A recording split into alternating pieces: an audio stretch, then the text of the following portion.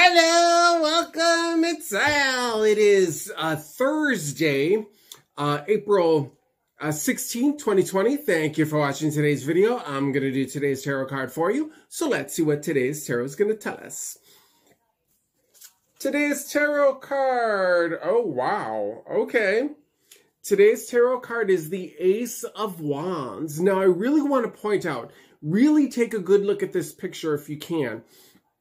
This card is a hand that is lit on fire.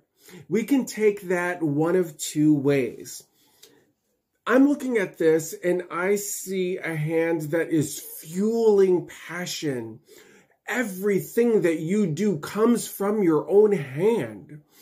Everything positive comes from your own hand. Everything creative comes from your own hand.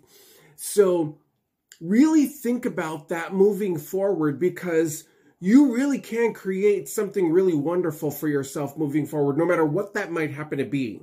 I also want to point out that if you're looking at things from maybe a negative kind of a space, you could burn yourself. You could be playing with fire, and that could cause that hand to be on fire. That could cause you to um, lose touch with reality and maybe touch on something that is too hot for you to handle. Maybe something that is um,